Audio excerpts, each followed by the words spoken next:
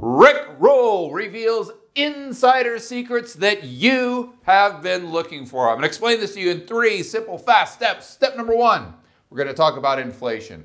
Right here, I'm going to give you some of my own insider secrets. We start with a chart going back to 1960 to 2020. This is the official rate of inflation. Starts very low in the 1960s. Then we know what happens in the 70s. Shoots way up, comes back down. 1980, almost up to 15%. Volcker puts the brakes on. Since then, according to the official numbers, inflation has been very tame, under 5%. The problem is they changed the way they measure inflation in the 80s and the 90s. And of course, each time they change the way they measure it, it adjusted the rate down. The easiest way to get your mind around this is if you have two of the exact same people. In this time frame, we measure that person's weight in pounds. They weighed 220 pounds.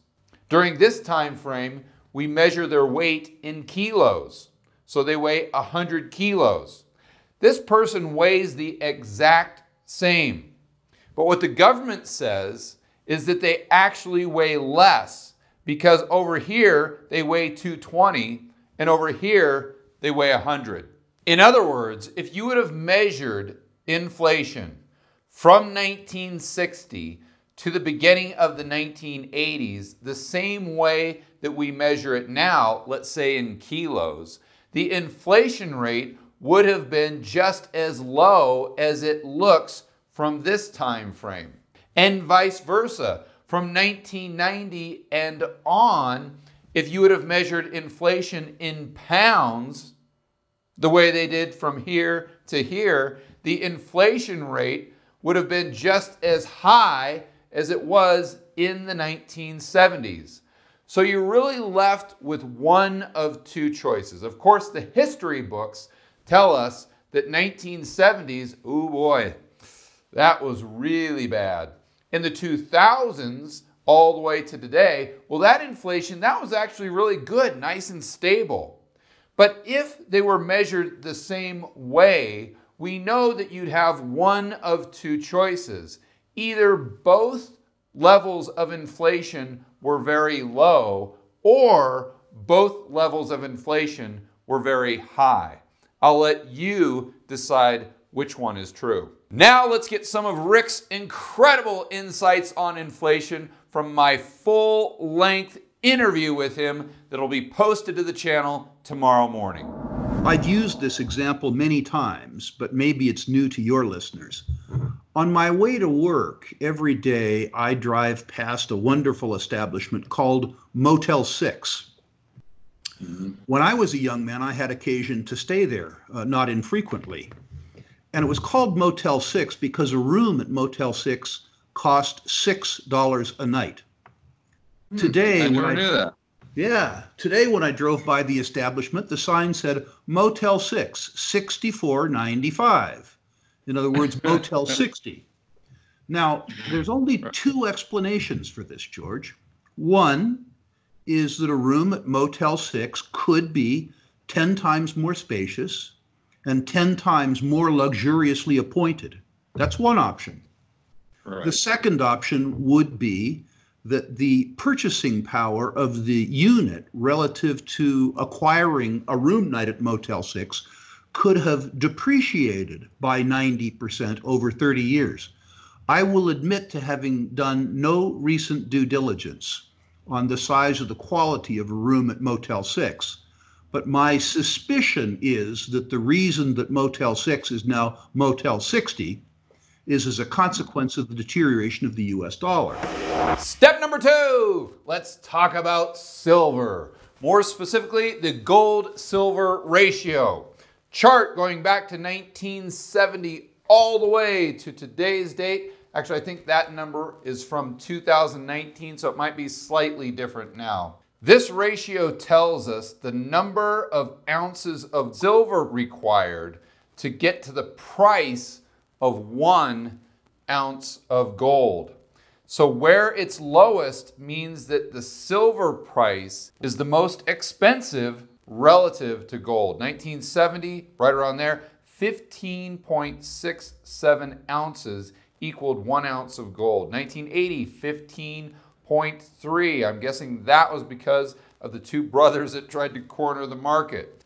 1990, silver gets super cheap. A hundred ounces of silver to one ounce of gold. That takes us where we are today. Again, very cheap, almost 90 ounces of silver to one ounce of gold. Surprisingly, though, Rick Rule doesn't think that's very important. He thinks maybe from a psychological standpoint it is, but from a fundamental analysis standpoint, it is not. The reason why is because silver is mined much differently from gold. For insight on that, let's go straight to an article from American Bullion. For thousands of years, mining silver was not that much different than mining copper, zinc, gold, or iron. Past prospectors and exploration companies sought out silver deposits, set up mines to pull the silver out of the earth, and then shipped it to the refinery. Gold, copper, zinc, and iron still get mined this way. By the 20th century, however, silver mining changed. A relatively small percentage of silver originates from traditional silver mines, approximately 25 to 33 percent. Nowadays, most of the world's new silver comes from mines that focus on other metals. For an example, a zinc mine in Mexico may pull out 65% zinc 25% silver, and 10% lead. Since this mine is categorized as a zinc mine, the silver production is referred to as a byproduct metal. Most new silver is a byproduct. So, analyzing the supply side fundamentals of silver is much more complicated than gold, and often it doesn't even have to do with the metal itself, but other metals that it's being mined with. But for all you silver speculators out there, I have got some great news, and that is when the price of silver does go up, the miners go up much, much higher relative to the price of silver than even the gold miners go up relative to the price of gold. So if you get it right, you are going to make a ton of money. To understand this dynamic further, let's go right back to my interview with Rick Rule. The most volatile precious metals asset that I know of are the silver shares.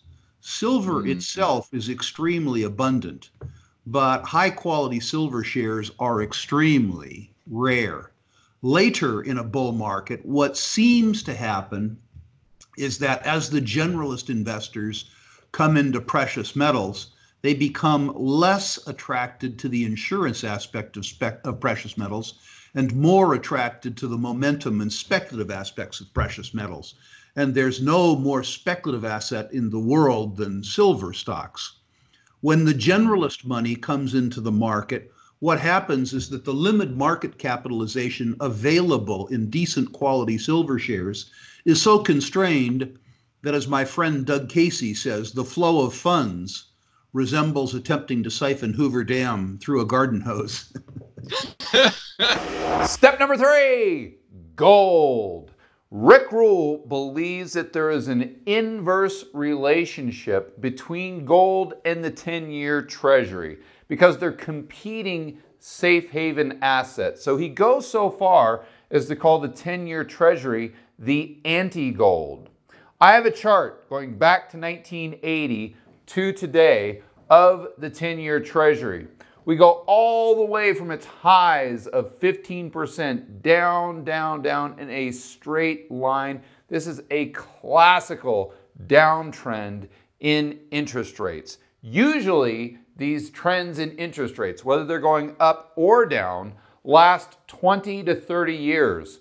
We are 40 years into this downtrend. So the point Rick makes, because of this inverse relationship, that if you believe we are closer to the end of these interest rates going down, then you have to believe we're closer to a massive bull market in gold where it goes straight up for the next 20 to 30 years. Oh, but wait, there is more. I've got more good news about gold when it comes to confiscation and the demand side of the gold price equation. For that, let's go right back to my interview with Rick Rule.